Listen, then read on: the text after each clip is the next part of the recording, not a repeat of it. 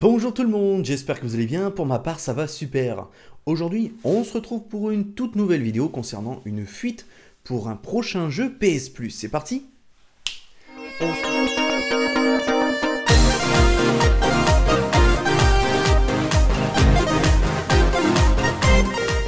se retrouve sur le site de actugaming.net pour vous parler eh bien, de cette information, de ce leak qui est sorti pas plus tard que ce matin. Et ça commence à faire parler doucement mais sûrement. PS Plus, le jeu PS5 du mois de juillet, en fuite. Alors, il y a un petit article et je vais vous le résumer.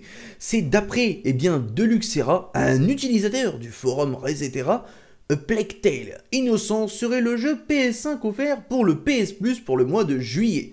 Le message date en effet du 11 juin, soit deux jours avant la conférence de l'E3 2021 de Microsoft Bethesda, qui a dévoilé officiellement la suite de A Plague Tale, Requiem.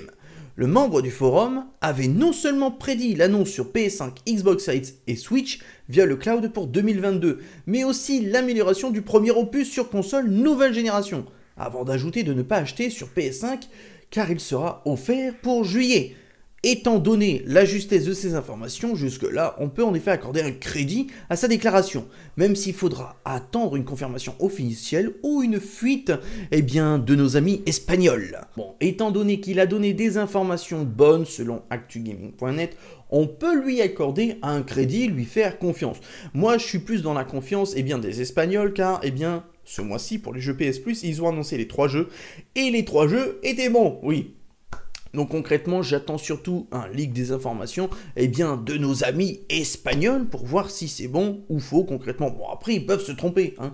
Ce ne sont que des leaks, ce ne sont pas des informations officielles, je le rappelle, ce sont des rumeurs. Et je rappelle que les jeux PS Plus seront annoncés le mercredi, oui, vers 16, 17, 18 heures, soit ce mercredi-là, soit le mercredi d'après, je sais plus exactement, et puis ça sortira de toute façon début juillet. On nous dit également que le timing est bon, oui, car le jeu ressort avec sa nouvelle version pour le 6 juillet prochain, oui, en 4K, 60 FPS, tout ce que tu veux. Donc concrètement, est-ce qu'il serait offert avec le PS Plus? Cela colle très bien. Cela colle plutôt bien car eh bien, les jeux PS Plus sont à chaque fois offerts, souvent le 5, 6 du mois concrètement, ce qui colle très bien bizarrement. Bon, enfin bref, j'espère que cette vidéo vous a plu, que ces informations vous ont plu.